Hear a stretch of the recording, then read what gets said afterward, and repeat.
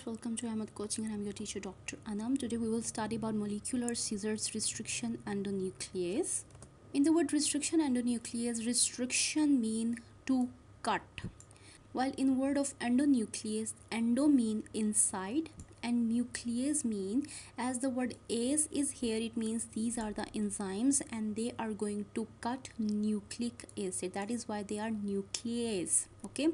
The restriction endonucleases are the enzymes which are going to cut the nucleic acid from the inside.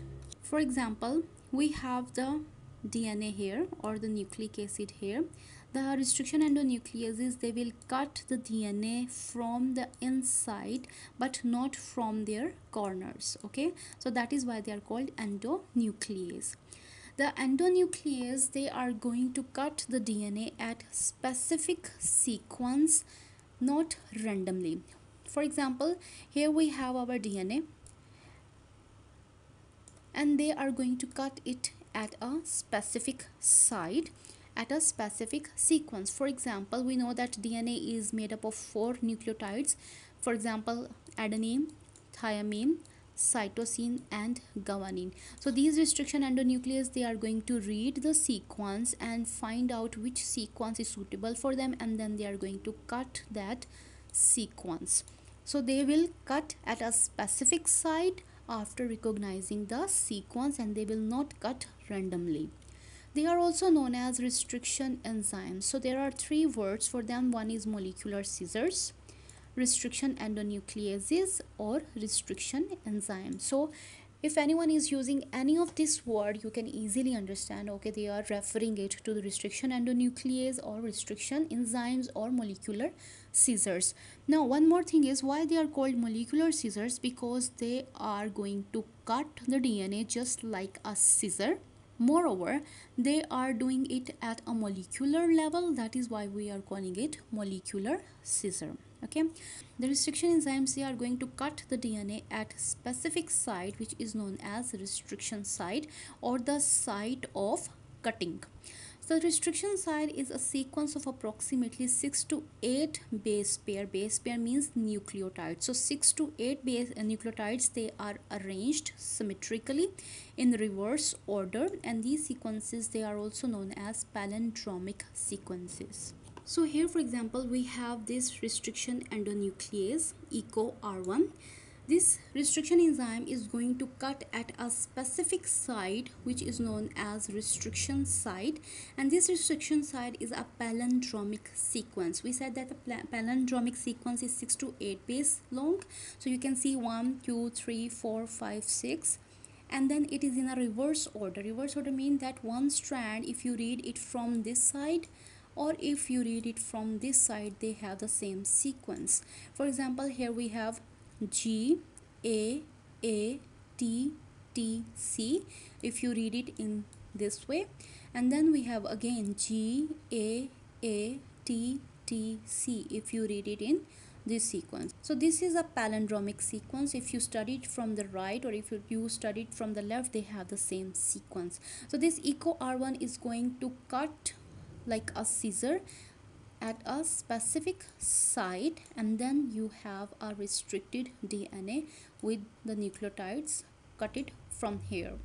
The restriction enzymes they are natural enzymes it means they are naturally found in the bacteria and it was first isolated in 1970 from the bacteria by O. Smith. Why they are present in the bacteria? Because the bacteria they are using these enzymes to cut the viral DNA. As soon as the virus infects the bacteria and insert its DNA inside the bacteria, these restriction endonucleases they are going to attack on the DNA and then they are going to cut the DNA so to prevent the infection from the virus.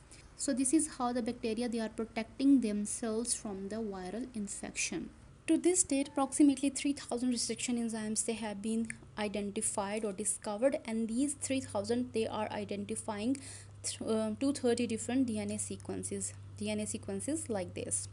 Now the endonucleases um, they are used in genetic engineering to construct the recombinant DNA the recombinant DNA mean that you are going to take a DNA from two different sources. For example one source is human and the other source is bacteria. You are going to combine these two DNA materials by but you need to cut it from the rest of the DNA so that function is performed by the restriction endonucleases the restriction endonucleases they produce two types of cut. One is sticky end and one is blunt end the ECO R1 is producing sticky ends because here these nucleotides they are free and they can easily stick with the other nu uh, nucleotides or with other dna while in case of blunt ends no sticky ends are produced. For example if the enzyme cut it from here so you will not have any nucleotide free. This is called blunt end the sticky ends they are very helpful in the insertion of foreign dna into the vector. For example here red one this is our gene of interest. You can see this part here. They are the free nucleotides just like them. So they are the sticky ends we cut the dna with the restriction endonuclease to get these sticky ends similarly we also use the restriction endonuclease to cut our vector. And here we can see the vector also have sticky ends. Now this sticky end and this sticky end they both are going to combine with each other.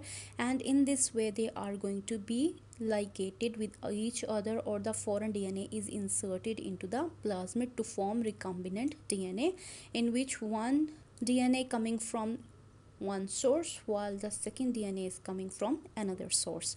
So this is what restriction enzymes are and this is how they are helping in the recombinant DNA technology or genetic engineering. So that was all about our lesson on molecular scissors restriction endonuclease. If you have any question related to this topic you can ask me in the comment section. If you enjoyed this video like it and subscribe to my channel. I will see you in the next video.